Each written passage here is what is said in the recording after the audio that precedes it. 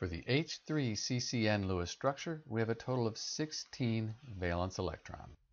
We always put hydrogens on the outside of Lewis structures, and then the carbons and nitrogens, carbons less electronegative, that's going to go at the center. So we'll put our two carbons at the center, put our nitrogen on the end, and let's put our hydrogens on the end right here.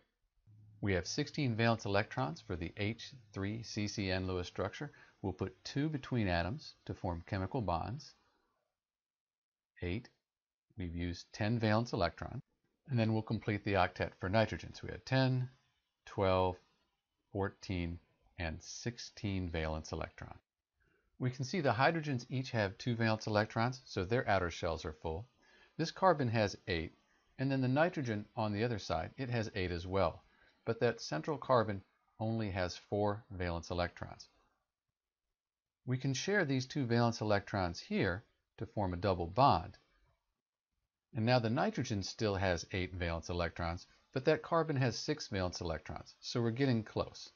Let's take these two right here and form a triple bond.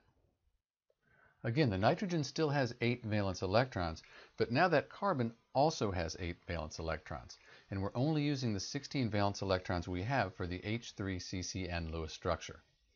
So that's the Lewis structure for H3CCN. This is Dr. B, and thanks for watching.